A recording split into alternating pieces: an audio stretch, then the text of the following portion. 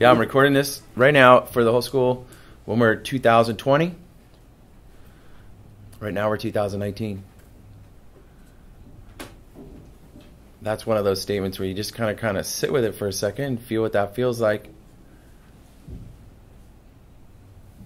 To think, I was talking with this group that what if you lived to be 130 because of science and everything, and how many times in your life will you be alone, sitting with your thoughts? Sometimes you'll be in groups of people sitting with your thoughts and noticing what arises. So I'm going to do a little beginning of the year review and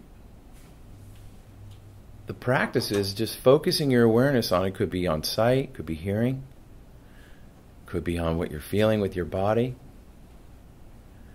could be what you're smelling, what you're tasting. All of that is, is the, the training of the mind, the, the bringing your full attention to whatever you're doing.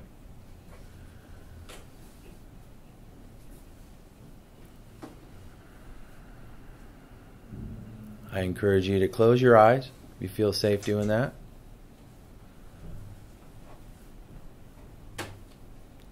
As you get more advanced in your practice, your eyes open, gaze slightly forward on the desk. And if you see something, just see it. Don't have to tell stories about what it is.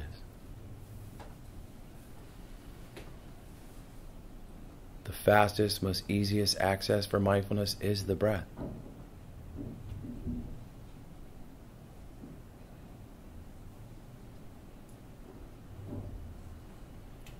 So focus on the nose. Breathe in through the nose.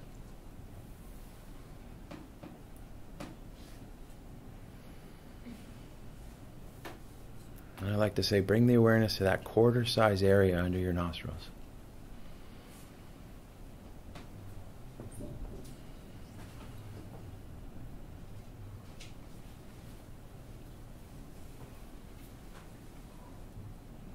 You could do things like breathing in through the nose, breathe out through the mouth.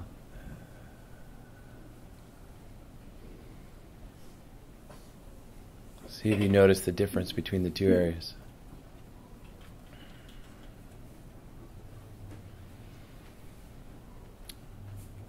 And if you get lost in a thought, you forgot you were supposed to follow the breath, it's what you're training your mind to do, you just come back. You can't do this wrong. I really mean that. Like, if you get lost in your thoughts, that's not, there's nothing wrong with that. That's totally normal. It's what we do all the time. But in this moment, we're trying to practice coming back to our awareness on the breath. The second spot you can do is do different size air intakes and see if your ribs move.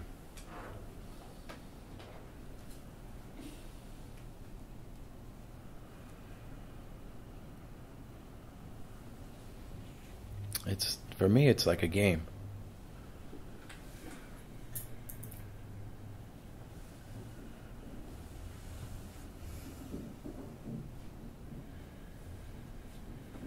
How many different things can you notice about that?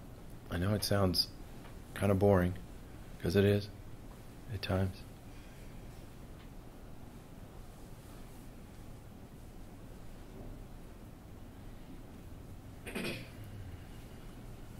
And by the end of the year, we'll be doing some pretty amazing things, I promise. But right now, it's just kind of getting that home base, the breath, really established. Remembering when you forget. Lost in a story, past, something you're going to do this weekend, an essay you wrote, a conservation paper you wrote you're proud of, you want to read, you want to share your Egypt stories to people. And you remember, oh yeah, I'm following the breath. So you come back to that rib cage.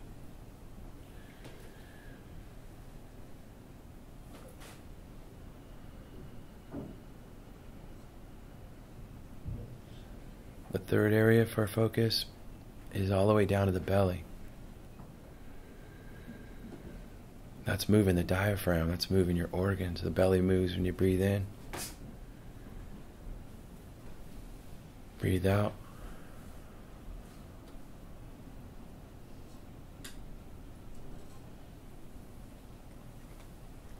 As you're following one of those three areas, try to stay on one. My jam is the nose. Some days it's the ribs. Maybe all the way down the belly.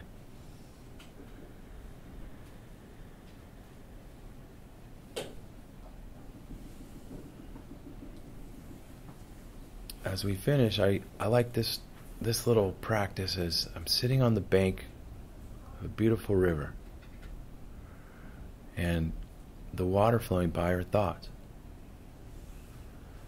Could be the temperature of the room or what you hear or what you're seeing.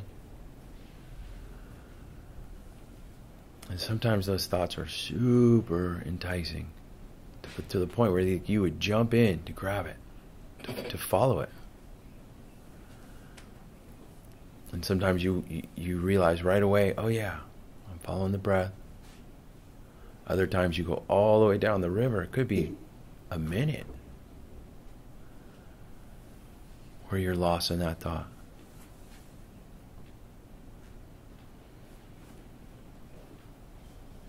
And what, what you do is you just come back to the bank. Find your posture. Start following the breath again. You can't do this wrong.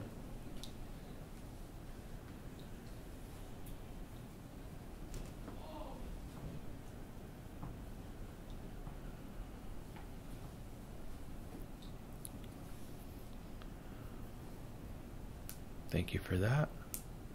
Hope that brought you a little bit of tranquility. Hard to stop this room so quiet right now. But on we are to our busy Friday. Have a great, great day.